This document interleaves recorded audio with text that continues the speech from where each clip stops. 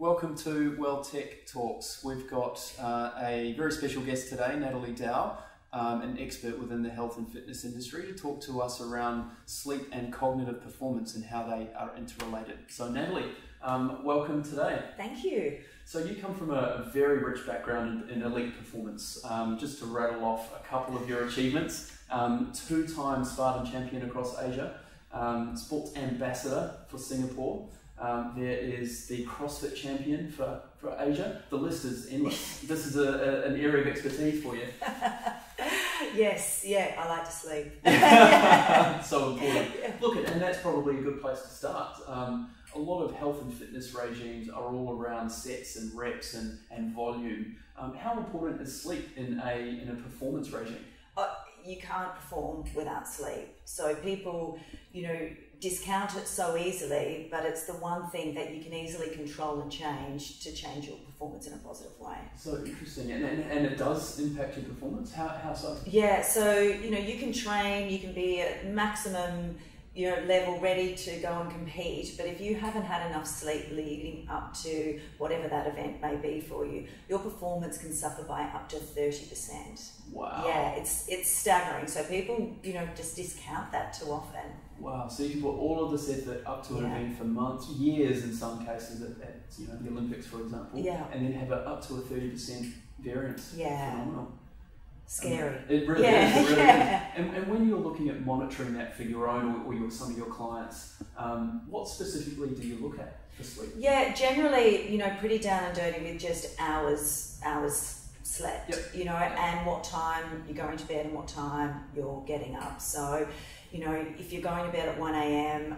I, it's not great if you're training. Yeah. Um, you know, and we look at what time you last consumed food around sleep as well. So, you know, you go to bed, you can't be digesting food, and your body can't be repairing at the same time. Interesting, so much in there. So, look, the, the magic number is there. Is it the magic eight hours sleep? There? Yeah, I always say, you know, seven hours is great. Eight's hard for a lot of people to get, and anyone that says that they can live on four hours and perform well, well, I'm calling them out on that because you're not any different from anyone else. Yeah, yeah, yeah. Um, they could be 30% better. Yeah, they could be. Imagine, imagine. Uh, so I think you know, optimally, if you if you're getting seven, then then that's okay. Yeah. yeah. And going to bed at a certain time is interesting as well. So is there an optimal time to go to bed? Yeah, you know, there's lots of different schools of thought on it. You know, any any hours before midnight seems to be a bonus.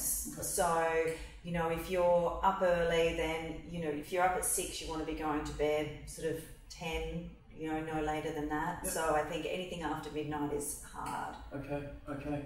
And from a, um, uh, a health and fitness and performance optimization tool, that's, that's pretty clear. Um, do you see it impacting other areas? In enterprise, we, we also look at how sleep can impact injury prevention, for example. Is it the same in, in health and fitness? Yeah, 100%. So, injury prevention, interesting you raise mm. that. So, if you're tired and you're going to lift weights, for instance, mm-hmm. your brain can't focus, you're maybe not as strong, so you're prone to injury doing that. And the number one thing that people forget is you can't lose weight if you're not getting enough sleep. So your mm-hmm. body is, you know, is in shutdown mode. So, you know, if people just started to sleep better, they would find that, you know, that weight, the final couple of Ks might just drop off. Wow, so the magic pill actually might be just getting to bed early and doing less. Exactly. Yes. Yeah. It's interesting the some of the, the cognitive performance that comes out of this as well. It's very associated to physical output. Um, but you know things like form in a gym if you're doing physical exercise. In a, in a work setting, we look at how sleep can impact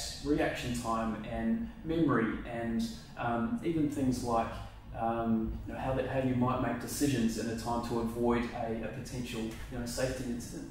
Um, so interesting to hear that that's a, it's a direct crossover to the health and fitness world. Absolutely. What are your what are your takeaway tips Natalie, on, on getting a good night's sleep and, and cognitively performing at your best? Yeah, I think, you know, it's great to go to bed physically tired. So if you are on a health and fitness journey, you know, there's nothing better than going to bed, you know, after having a great workout, going to work, fueling your body right, then mm-hmm. that's certainly it. You know, there's a lot of stresses during the day, so put your device down before you go to bed. Yeah. Maybe a bit of meditation, even if it's you know five, ten minutes. Then yeah. that always helps clear the mind before you go. And don't eat to bed, you know, just before you go to bed. You know, so I think if you can do those three things, then you're already winning. Well, there we go. Thank you very much. You've heard it from the, the best in Asia um, for sleep and cognitive performance. So, Natalie, thank you for today. Thanks, Pleasure as always.